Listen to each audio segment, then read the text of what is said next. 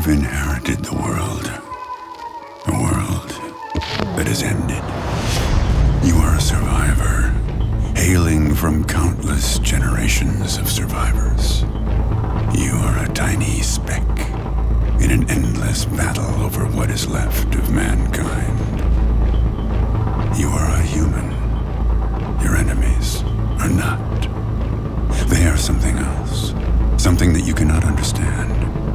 Something powerful. They read your mind and eat your thoughts.